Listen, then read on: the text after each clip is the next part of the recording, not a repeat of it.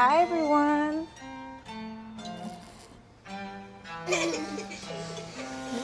I may be not seeing very well, but we're in a room full of kids. We're just going back to the basics, okay?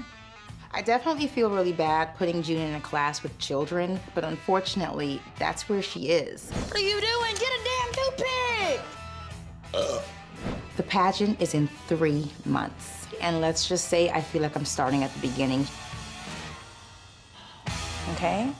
We need to get started. I'm so sorry we're late. This is Helen. She'll be your instructor. This Helen lady is probably the scariest lady I've ever seen. She needs some hair etiquette.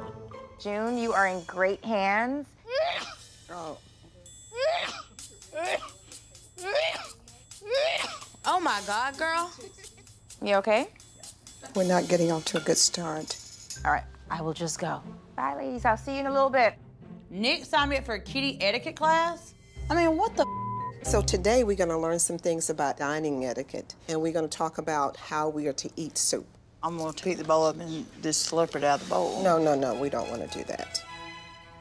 We want to spoon it out, okay? And then for this soup, because it's more of a hearty vegetable, we will bring it forward, okay? I thought manners was learning how to like curtsy and stuff. Honey, I already know how to eat. These girls need to loosen up and have some fun. Let me see how you're holding your spoon. No, no, no, no, no, no. Take your elbows off the table. Who cares about a spoon? Now a fork. It's actually really good for a head scratcher. I, I wish you would please put the fork down. Salads are mixed right. Crunch it. No, no, no, no. You don't. Um.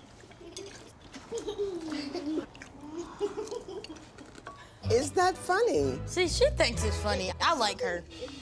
So do not leave the garnish part Oh out. no, please don't.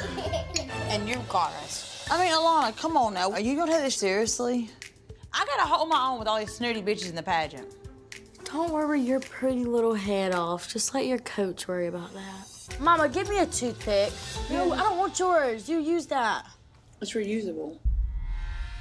I think that this etiquette class is for good manners. You obviously don't have any. Oh. Oh, girl, did she just throw some shade at us?